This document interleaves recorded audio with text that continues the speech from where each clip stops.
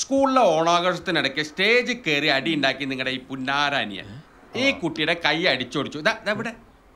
ഇതിനു മുമ്പും ഇവൻ പല തവണ പ്രശ്നങ്ങൾ ഉണ്ടാക്കിയിട്ടുണ്ട്. പല തവണ വാണിങ്ങും കൊടുത്തതാ. ഇനി അത് പറ്റില്ല. പല നല്ല കുട്ടികളും ഇവൻ കാരണം വഴിതെറ്റുണ്ട് അതുകൊണ്ട് ടി സി കൊടുത്ത് പറഞ്ഞു വിടാനാണ് തീരുമാനം.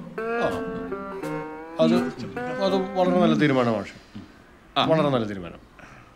നല്ല കുട്ടികളെ നമ്മൾ എന്ത് വില കൊടുത്ത് രക്ഷിക്കണം? ശരിയാണ് ശരി. മാഷ് ടി സി എഴുതിക്കോളൂ. അല്ലേ? അതെ അതെ. ആ. അപ്പോ ആ കണക്ക് തീർന്നില്ലേ? ഉവ്വ. ആ. ഇനി ഈ കണക്ക്. ആ. സീഫ കണക്ക് കണക്കെടുത്തേ. രണ്ടായിരത്തി രണ്ട് ജനുവരി ആറിന് എൺപതിനായിരം പേഴ്സണൽ മുതലും ഇല്ല അതിന്റെ കൂടെ പലിശയില്ല എൺപതിനായിരം.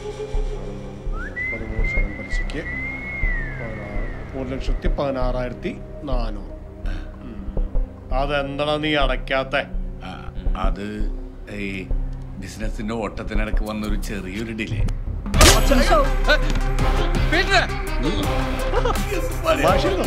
ഇത് ഞങ്ങൾ തമ്മിലുള്ള ചെറിയ ഡീലിങ്ങാ.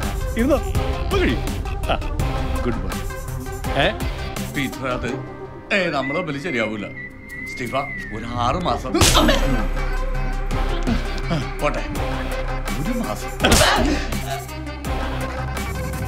ഒരാഴ്ച. നിന്റെ പെങ്ങളെ ഇവൻ ലൈൻ അടിച്ചാൽ നീ പ്രിൻസിപ്പാളിന്റെ അടുത്ത് എന്നാ പരാതി പറയേണ്ടത്? അതിന് വേണ്ടിയിട്ടാണ് അങ്ങേരെ ശമ്പളം കൊടുത്ത് ഇവിടെ ഇരിക്കണത് അല്ല സ്റ്റേജിൽ കയറി ഇടിയണ്ടാക്കലടാ വേണ്ടത്. നീ ഇതൊക്കെ എവിടുന്ന് പഠിച്ചടാ? ചുമ്മാ കാർന്നമാരെ തല്ലുവിളിക്കാനായിട്ട് ആ പാവപ്പെട്ടവൻ അവന്റെ കൂട്ടുകാരൻ തലടാണ്ടപ്പോ അവൻ കയറി ഇടപെട്ട് അവനെ കുറ്റം പറയാൻ പറ്റുമോ?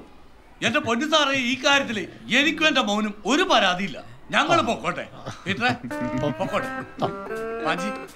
റാഞ്ചി അല്ല സ്റ്റീഫൻ. അടി ഗംഭീരം